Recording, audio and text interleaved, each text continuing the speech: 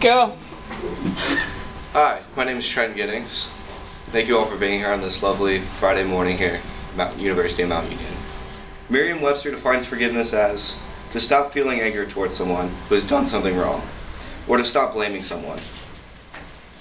I believe forgiveness is an effective tool to fill the emptiness a victim may feel after something has been done to them. When something happens to us, there's an irreplaceable damage that leaves emptiness all over us.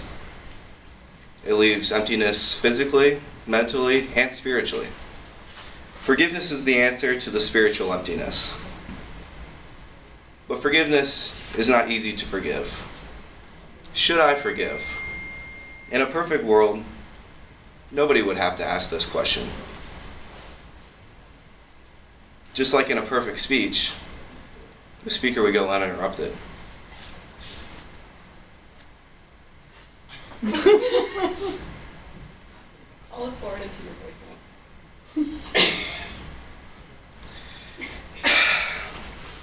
These are the kind of moments where patience gets tested and forgiveness gets tested. Excuse me for a moment.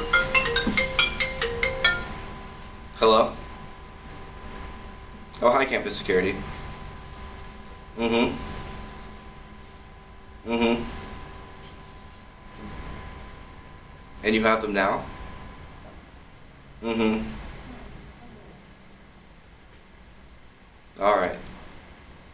All right, you too. All right, you guys have a good day. Good police work. Thank you. Now, these are the kind of moments where patience forgiveness gets tested. Now, that was a phone call saying campus security has someone in custody for attempting to steal my motor vehicle.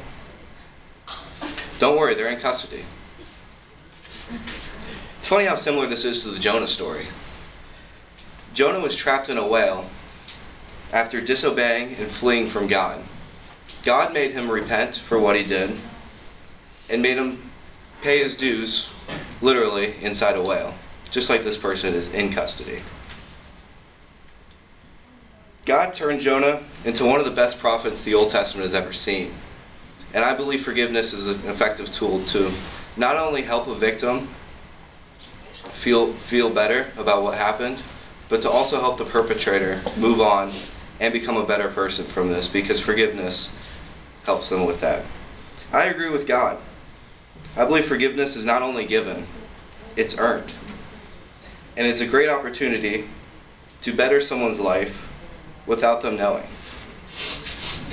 The thief, the thief in custody, I believe, has potential to not only earn my forgiveness, but to do great things in society. Thank you for listening today, I'll open the floor for questions.